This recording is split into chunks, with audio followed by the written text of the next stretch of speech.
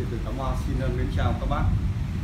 Xin cảm ơn các bác đã quay trở lại với kênh điện tử Tám Hoa Địa chỉ trung tâm thị tứ xã Lê Lợi, Chi Linh, Hải Dương.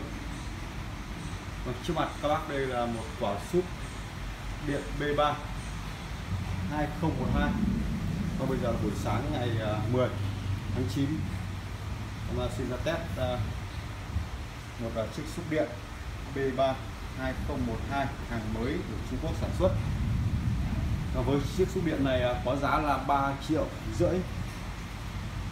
Và chiếc xúc này à, em xin là test ra để gửi vào Quảng Ngãi. Và các bác có nhu cầu xin hãy liên cho bên em cho hai số máy 0918 249265 và 0974 637 646